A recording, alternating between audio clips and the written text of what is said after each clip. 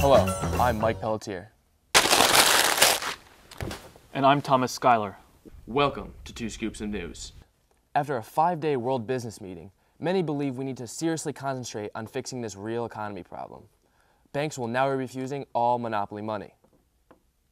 An atheist man has opened a business promising to care for people's pets after the rapture, when all righteous people will be spirited off to heaven, leaving their homes and pets behind. That's stupid, says Ashley from South Carolina. I'm sure I read in the Bible somewhere that all good dogs go to heaven. Lost, the final season has finally started, attracting over 12.1 million viewers. That's 12 million viewers larger than Leno's current audience. A dog breeder from Louisiana has invented a strap on chastity belt for dogs to protect them from getting pregnant while in heat. When the inventor was asked how her invention would help control the canine overpopulation problem, she responded, What? No, I just invented it to keep my dog pure. You know, for the rapture. Phil Harris, the famous captain on Deadliest Catch, woke up from a coma early morning. When Us Weekly interviewed people on the streets asking about his recovery, many replied, Who? A woman says her love handle saved her life after she was shot entering an Atlantic City bar. She was quoted as saying, I was hollering about losing weight, but now I want to get as fat as I can. Here at Two Scoops of News, we'd like to remind her that while it's great her love handles absorbed the bullet's energy and saved her life, if she would have been a bit thinner, the bullet would have missed her completely. We're going to switch gears here and go over to our sports correspondent, Don E. Tello. Don? Don? Welcome to the Sports Score. I'm Don Nitello. February has been a big month in sports, and most notably, two events that will forever change its history. Tiger Woods made an official apology to his family, his friends, and the entire USGA. Us here at Two Scoops, we got a private interview, and we asked him, How could you cheat on your wife when it was obvious she was so frickin' hot? He was quoted as saying, Man, my wife was a pain in the ass, but those other women, they were great. The Olympics have been in full swing, and it seems to us that the breakout event this year has been curling. Yes, I said it, curling. The sport you slide some stone down some ice. It's great. And with Canada, both the men and women teams dominating, it looks like the other teams will be curling into the fetal position. That's it from the sports score. Back to you, Tom. Thanks, Don. You can say that again. Thanks, Don. A 21 year old groom from Idaho was arrested three times on his wedding night for assaulting his bride. A local sheriff was quoted as saying, Wow, three times. You know, you newlyweds, I'm lucky if I get up enough strength once a week to beat my wife.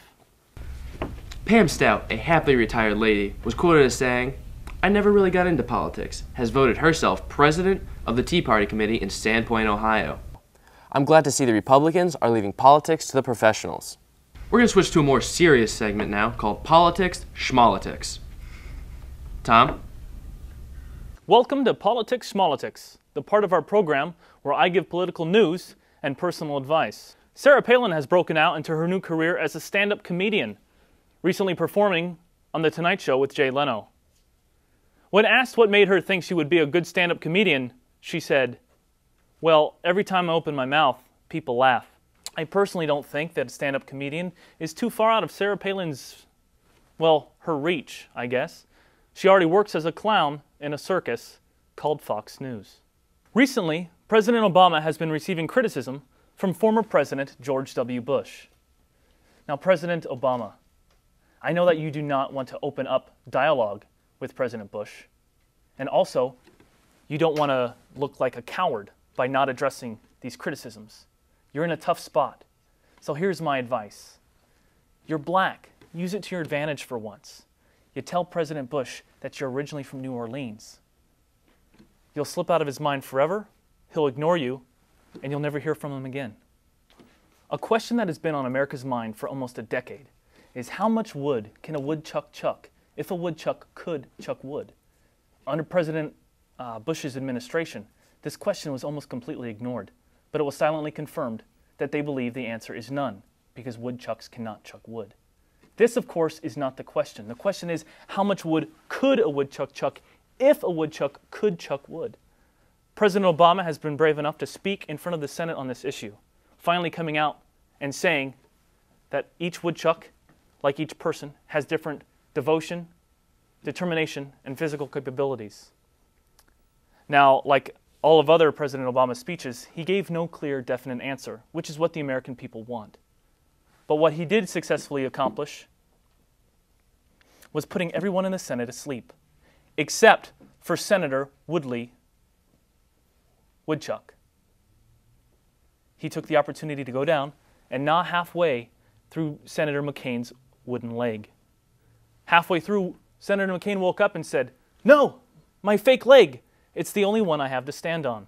He did take this opportunity to say that under his new health care plan, Senator McCain's leg would have been replaced for free, yet it would have been made out of recycled newspaper. Well, that's all we have for today in Politics Schmolitics. Tune in next time. Back to you, Mike. Thanks, Tom. So, Tom, did you hear about this one? A 19 year old New Zealand girl sold her virginity on eBay for $32,000 to help pay for her college tuition. Impressive, huh? That's amazing. When I lost my virginity, all I got was a six pack of beer. But no, seriously, didn't this girl have any uh, friends or family that could have helped her out? Sure, she did, but I mean, a couple of her father's friends were saying they were willing to donate.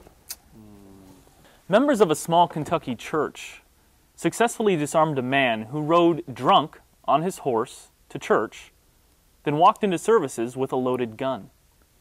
Police said the man was arrested about an hour later, charged with not wearing a tie to church. For those of you who follow international business news, a Chinese company who is poised to buy Hummer from GM has recently backed out of the deal.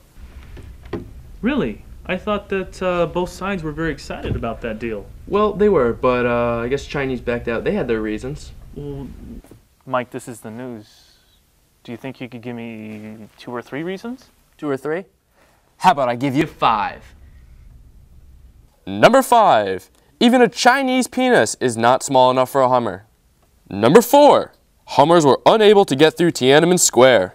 Number three, booster seats do not come in adult sizes. Number two, the Chinese already have a car that pollutes double. And number one, because Russian tanks were half off. Uh, thanks, Mike. I'm sure the Chinese will enjoy those Russian tanks. And uh, Best I guess luck that, to 'em. yeah, best luck, best luck to our soon-to-be Chinese overlords. 大家好.警官部、警官队都有得。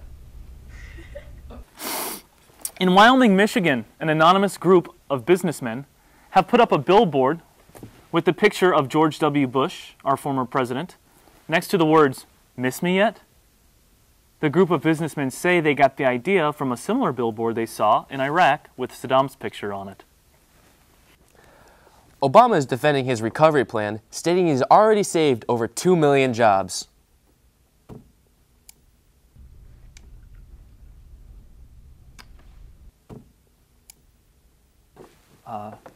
I think they're, they're waiting for the punchline to that joke.